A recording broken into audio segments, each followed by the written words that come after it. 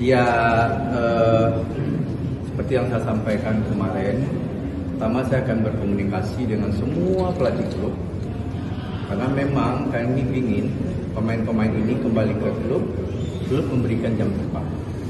Kenapa? Karena sesuai dengan arahan Pak Ketum, kalau udah 20 ke atas kan TC-nya tidak ada yang panjang. Mereka didevelop di klub.